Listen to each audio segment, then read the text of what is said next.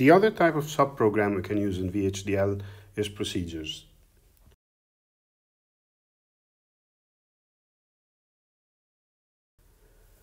So procedures are uh, very similar to functions in a lot of ways. Uh, they contain sequential statements. They can be called uh, within concurrent code or within sequential code. Um, uh, they pretty much function the same way. There are two differences between functions and procedures. First, procedures can use uh, signal assignments. And the second difference is that procedures can have uh, arguments that are of input, output, or in-out direction. So when we talked about functions, we had uh, arguments that were always of the input direction. You could state, state that, but you didn't need to. With procedures, you can have uh, input or output direction arguments. Uh, and one corollary of this is that procedures don't have a return value but in fact they can have multiple return values through their arguments. So uh, we see here an example of a, a procedure called batch calculate and um, again uh, we have we can have uh, local variable declarations in this case local signal declarations but the main thing to notice is that when we have uh, the list of arguments you have to define a direction so um, you have to define if it's input output or in out and um, in this case, this procedure could actually effectively have four return values, which are D, E, F, and G, because it has four output or in-out uh, arguments.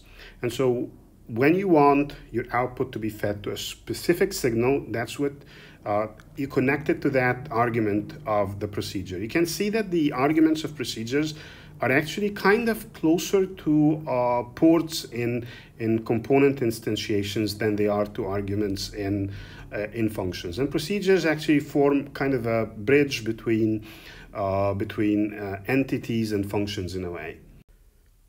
So I'll discuss a couple of uh, miscellaneous issues, one of which actually relates to both functions and procedures, and the other is more related to functions.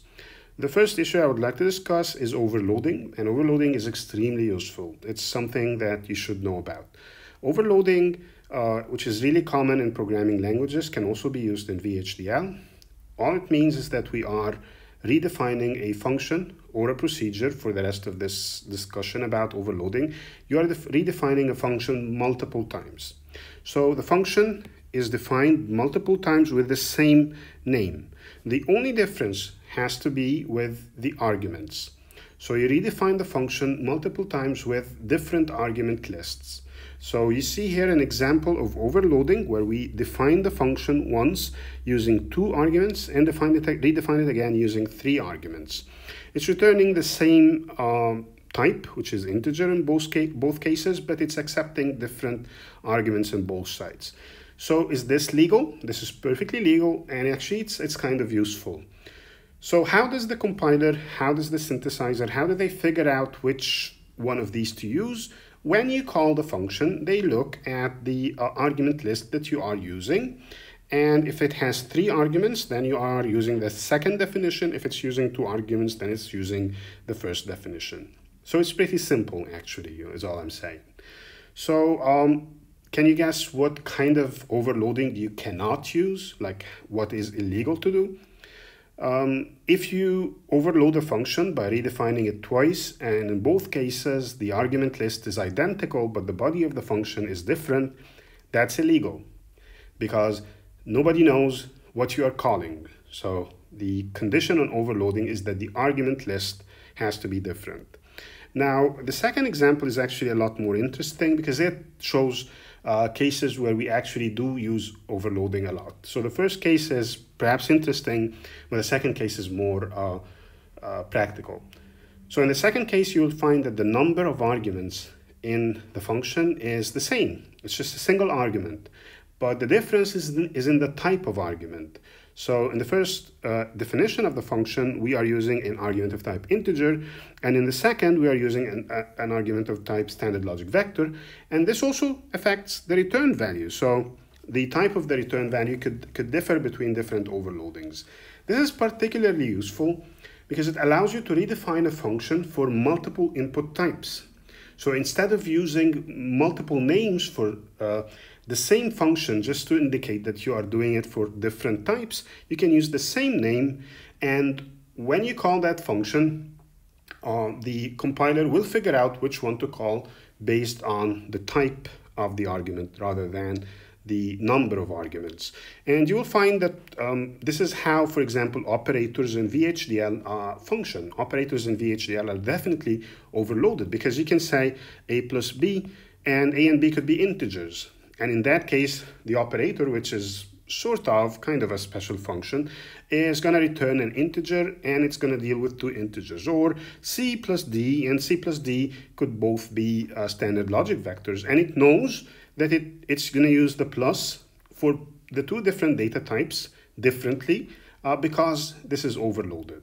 So overloading is actually pretty useful when you are dealing with different data types, um, even if you have the same number of input arguments. The second thing I would like to discuss is predefined functions that come with uh, IEEE packages within the IEEE library. Uh, specifically, the packages I'm talking about are standard logic arith, which is standard logic arithmetic, and standard logic signed and standard logic unsigned. So I'm particularly interested in uh, uh, type conversion functions because I have used them repeatedly in previous videos and they are very useful. They're extremely useful, especially when you move on to writing scalable uh, code that can um, that inherits generics and you start using more advanced coding techniques. So um, the conversion functions are just going to convert a type uh, into another type and they are usually used to move between standard logic vectors and integers because this is very often what we need to do. So the first function is conv integer and it accepts a single uh, argument of standard logic vector type. So all it does is it takes a standard logic vector argument and it returns the integer equivalent of that uh, of that bus. So if the bus is three bits long and uh, its content is 0 and 1, then this will return a value of 3. But what if the uh, bus has a content of 101? What if the argument is 101? What is this? Is this 5 or is this a negative number? where this is the sign bit. So we have to define if um, this is actually uh, signed or unsigned, which is why when you use conv integer or conv standard logic vector, which is the, uh, the uh, function I'll describe next, you have to use it after defining either the uh, standard logic signed or standard logic unsigned uh, packages. These two packages will redefine the function for signed or unsigned numbers. So we are actually doing overloading here, but these are mutually exclusive. So you cannot declare both packages because they need to know if the numbers are signed or unsigned. They cannot be both. So you have to use only one of these two packages in, a, in, a, in any single design. So an example of a location where we used conv integer, for example, was in memories, where we needed to uh, extract the content of memory during a read operation. And the contents of memory were stored in an array. And uh, like, for example, if we need to access the uh, nth element of the RAM content array, we have to use an integer argument n uh, for this array. But this actually comes as the address bus of the, uh, of the uh, memory. And so we have to take that address bus and convert it somehow into an integer number. And so we use conv integer and use that as the argument for the array. So that's a case where you have to use this. Now, again, this is a very safe use of functions because uh, this reduces into a number at synthesis time and so it's not going to cost any hardware. Uh, type conversion uh, functions are generally very safe to use and you should use them uh, as much as possible because they actually make reading the code a lot easier. So the second uh, conversion function we use is, we often use is conv standard logic vector, which is the opposite of conv integer. So it converts an integer number into a standard logic vector. But in this case, So its return type is basically a uh, standard logic vector type. But in this case, um, we have to have two arguments for this function. Um, the two arguments are the integer value we uh, are converting and another integer which is the size of the bus we convert to. So we return something that is stored in a bus that is uh, size bus wide. So for example, if, if this integer value is 2 and the size of the bus is uh, 3, then we return 0, 1, 0. If the size of the bus is 4, then we return 0, 0, 1, 0. And so obviously we need to know the type of the bus. Conv, uh, the size of the bus. Conv standard logic vector, like conv integer, has to be defined either for signed numbers or for unsigned numbers. So it has to be associated with either of the two libraries. The last uh, conversion uh, functions I want to discuss are uh, kind of tightly associated and they are con convert signed and convert unsigned.